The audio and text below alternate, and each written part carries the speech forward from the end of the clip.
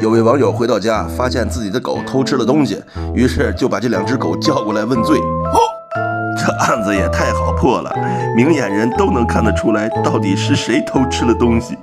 最关键的是后边的大黄，一脸贱兮兮的样子，让人实在是受不了。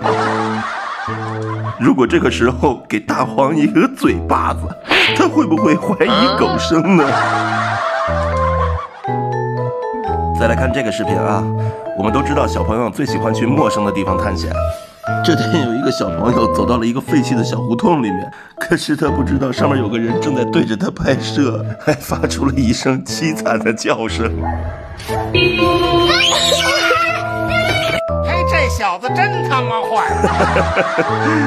若干年后，小朋友长大了，他会在某个 APP 上绘声绘色地讲起自己小时候遇到的灵异事件。